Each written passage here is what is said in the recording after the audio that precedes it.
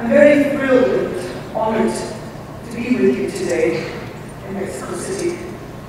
I'm also hugely inspired by an event uh, of this profile and this caliber, an event uh, comprised of women.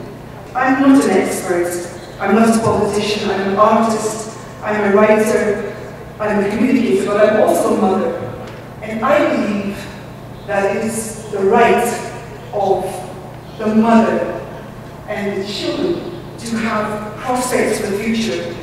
Putting this message out to everyone here, all of you fantastic, strong, powerful, influential women who I know have a heart and soul, who would like to see that change take place and who also like to avoid that kind of incident taking place in Latin American countries. It really can be done with our will, with our commitment, and our determination.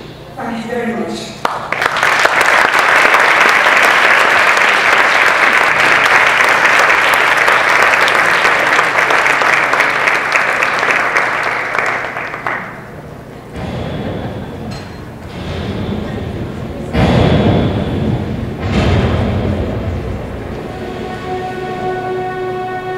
In South Africa, a third of all women who are expecting a baby are HIV positive. It's very difficult for them to get access to even to testing. And if you don't know your HIV status, then you will not think that you require treatment. And by the time you have some of the symptoms, it might already be too late. This epidemic carries the face of women. It is women who bear the burden of HIV and AIDS. It is affecting babies before they're even born.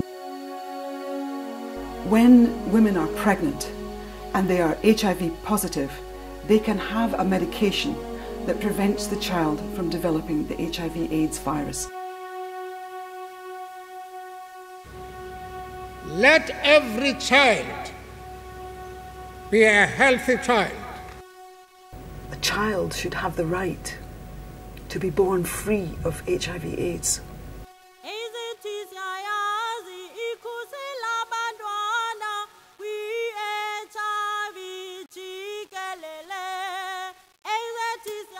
People are very much afraid to speak out. So in a way, when I'm saying sing, I'm saying sing about HIV AIDS, speak about HIV AIDS, express yourself. Let us use the universal language of music to sing out our message around the world.